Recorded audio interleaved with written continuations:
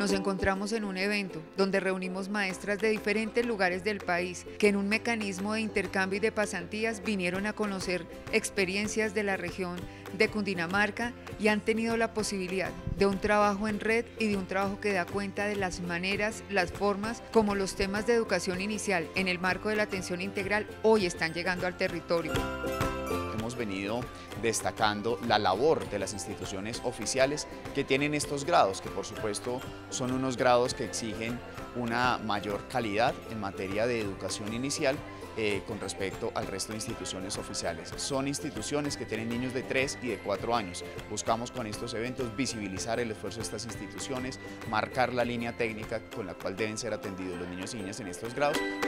Este espacio que nos está brindando el Ministerio de Educación Nacional, pues son espacios maravillosos para nosotros como docentes y nos ayuda a fortalecer muchos aspectos para seguir trabajando con los niños de la primera infancia.